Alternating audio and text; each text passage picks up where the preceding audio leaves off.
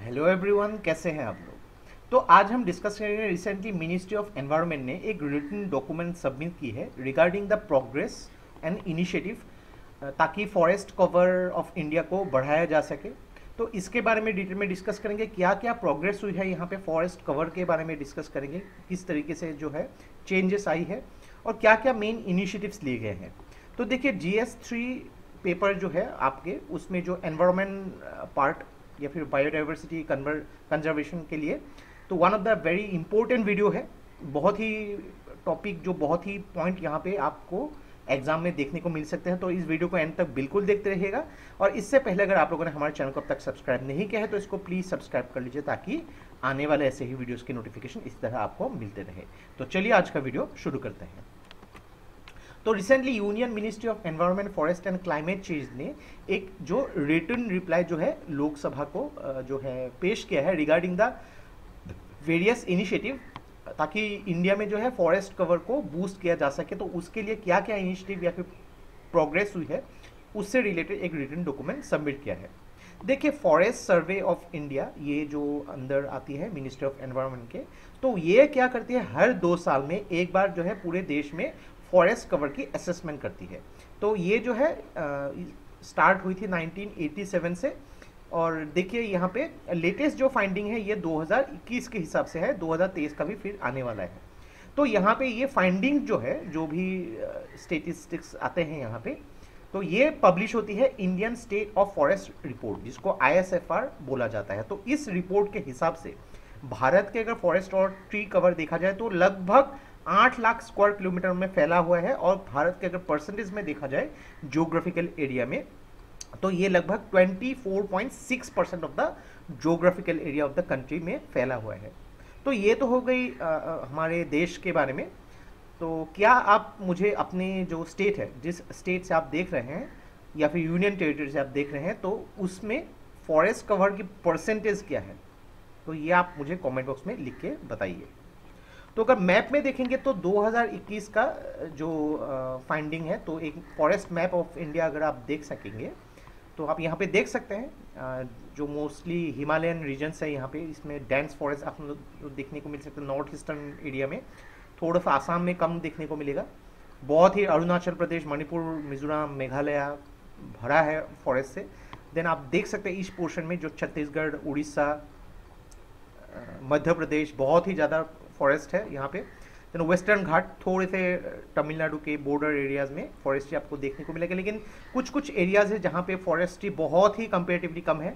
आपको देखने को मिल सकता है राजस्थान, उत्तर प्रदेश, पंजाब, हरियाणा कंपेरेटिवली काफ़ी ज़्यादा कम है। इनफैक्ट जो महाराष्ट्र के भी इस पार्ट में because of the orographic rainfall कम देखने को मिलता है। कर्नाटका का इस पार्ट तो कम देखने को मिलता है इस साइड में। वेस्ट बंगाल के इस साइड में भी कंपेरेटिवली काफ़ी कम फॉरेस्ट्री आपको देखने को मिलेगा। लेकिन देखिए 2009 के बाद अगर देखा जाए, काफ़ी सारी जगहों में फॉरेस्ट्री जो है, बढ़ी है। राजस्थान में आप देख सकते हैं। देन आपको कर्नाटका में देख सकते हैं यहाँ पर लेकिन नॉर्थ ईस्टर्न स्टेट्स में फॉरेस्ट्री काफ़ी कम हुई है, जैसे मिजोरम, मणिपुर, नागालैंड माइनस में चली गई है। यानी कि फॉरेस्ट्री कम हुई है यहाँ पे। भले ही बहुत ज़्यादा होती थी, लेकिन कंपेरेटिवली यहाँ पे कम हो जा रही है। झारखंड में आप देख सकते हैं बढ़ी है तो पॉजिटिव नंबर यानी कि यहाँ पे दिखाई दे रहा है स्क्वायर किलोमीटर के हिसाब से 2009 के बाद बढ़ी है और निगेटिव है मतलब कम हुई है। तो क्या आप मुझे बता सकते हैं कि भारत के कौन से राज्य में सबसे ज़्यादा फॉरेस्ट कवर है? ये आपको मुझे कमेंट बॉक्स पे लिख के बतानी है। तो अगर बात करेंगे कुछ कुछ गवर्नमेंट इनिशिएटिव तो बहुत ही इंपॉर्टेंट है तो पहले नंबर पे आता है ग्रीन इंडिया मिशन जो स्टार्ट किया गया था 2015-16 में। तो मेनली एफोरेस्टेशन यानी कि प्लांटेशन एक्टिविटीज़ के ऊपर ध्यान दिया गया था और पिछले पाँच साल में लगभग 755 करोड़ जो है इन्वेस्टमेंट की गई है, लगभग 17 अलग अलग स्टेट्स और एक यूनियन टेरिटरी में, ताकि फॉरेस्टेशन एफोर्ट को जो है एक सपोर्ट मिल सके। नेक्स्ट अगर बात करेंगे नेशनल एफोरेस्टेशन प्रोग्राम तो ये भी इंप्लीमेंट किया गया था डिग्रेडेड फॉरेस्ट जो भी डिग्रेड हो गई थी, उसको रीजनरेट करने के लिए और एडजॉइनिंग एरियाज़ को। बाद में देखिए, ये नेशनल एफोरेस्टेशन प्रोग्राम जो है ग्रीन इंडिया मिशन के साथ मर्ज कर दिया गया था।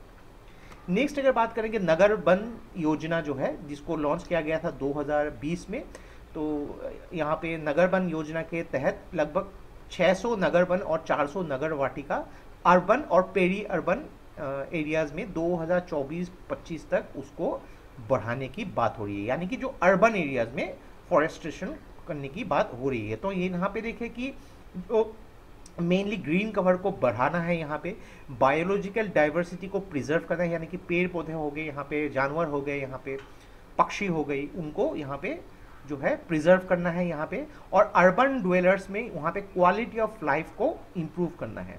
नेक्स्ट अगर बात करेंगे कॉम्पेंसेटरी एफोरेस्टेशन फंड जिसको हम लोग कैंपा फंड भी बोलते हैं तो अलग अलग स्टेट या फिर यूनियन टेरिटोरीज में यहाँ पे कॉम्पेंसेटरी एफोरेस्टेशन फंड दिए जाता है, ताकि अपने स्टेट में, अपने जगहों में फॉरेस्ट्री को सपोर्ट कर सके, उसको बढ़ाया जा सके। अलग अलग स्टेट में फंड यहाँ पे दिए जाते हैं।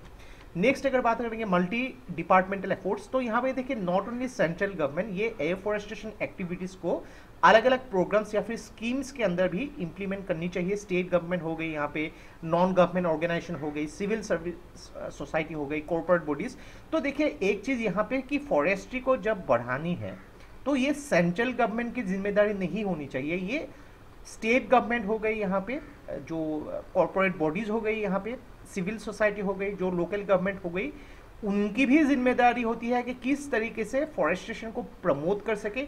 इंडिविजुअल लेवल पे भी हम लोग टारगेट कर सकते हैं कि अपने जो एरिया है, उसमें किस तरीके से प्लांटेशन कर सके। कहीं पे अगर इलीगल एक्टिविटीज़ हो रही है, उसको रिपोर्ट किया जा सके। और देखिए, मेनली फॉरेस्टेशन जब बढ़ेगी, बहुत सारे प्रॉब्लम्स के सॉल्यूशन अपने आप निकल के आ जाएगी यहाँ पे। तो अगर अलग अलग देशों में आप देख सकते हैं तो मेनली यहाँ पे जो भी रेसिडेंशियल एरिया या फिर कॉमर्शियल एरिया है, उसके चारों तरफ़ आजकल जो है फॉरेस्ट्री को बहुत ध्यान दे के प्लानिंग किया जा रहा है। इनफैक्ट ऐसे ग्रीन बिल्डिंग्स भी बनाए जा रहे हैं जहाँ पे आपको बिल्डिंग्स में ही प्लांटेशन देखने को मिलते हैं यहाँ पे। नेक्स्ट अगर बात करेंगे ड्राफ्ट नेशनल फॉरेस्ट पॉलिसी तो ये मेनली फोकस करती है क्लाइमेट चेंज की जो इफेक्ट्स है उसको ख़त्म करने के लिए। अलग अलग फॉरेस्ट मैनेजमेंट प्रैक्टिसेस किस तरीके से प्रैक्टिसेस को मैनेज किया जा सके एक साइंटिफिक तरीके से, ताकि कम टाइम में ज़्यादा से ज़्यादा फॉरेस्ट को ग्रीन किया जा सके। यहाँ पे क्लाइमेट चेंज के साथ अगर कुछ प्रॉब्लम्स होती है, उसको किस तरीके से कम यहाँ पे इम्पोर्टेंस देना चाहिए और यहाँ पे फॉरेस्ट डिपेंडेंट कम्युनिटीज़ जो है, उनको भी ध्यान देना चाहिए। तो उनके लिए भी अलग अलग एक्स यहाँ पे है। तो देखिए, ये जो एक वीडियो है, इसमें थोड़ा सा आपको नॉलेज मिल गया है, लेकिन देखिए फॉरेस्ट्री या फिर ऐसे टॉपिक्स के लिए यहाँ पे एक मल्टी डायमेंशनल अप्रोच होता है। जब भी न्यूज़ आती है, हम लोग यहाँ पे डेफिनेटली उसको डिस्कस करते हैं और आपको यहाँ पे बुक्स से भी काफ़ी सपोर्ट लेना होगा कंसल्ट करना होगा। क्योंकि यहाँ पे देखिए फॉरेस्ट्री से रिलेटेड किसी भी टॉपिक को आपको प्रीलिम्स या फिर मेंस में सीधे सवाल आपको बन सकते हैं और बनेंगे ही बनेंगे। तो किस तरीके से उसको आपको इम्प्लीमेंट करना है, ये आपको थोड़ा सा प्रिपेयर करते रहना पड़ेगा। तो ये था हम लोग का complete analysis regarding the forest cover of India and उसके प्रोग्रेस और इनिशिएटिव से रिलेटेड जो भी document actually ministry of environment forest and climate change ने लोकसभा को सबमिट किया था। तो आशा करते हैं इस वीडियो से आपको बहुत कुछ चीज़ें सीखने को मिला होगा और ये वीडियो अगर आप लोग अच्छा लगे इसको प्लीज़ लाइक कीजिए, इसको सब्सक्राइब कीजिए, इसको शेयर कर दीजिए। तो आज के लिए बस इतना ही।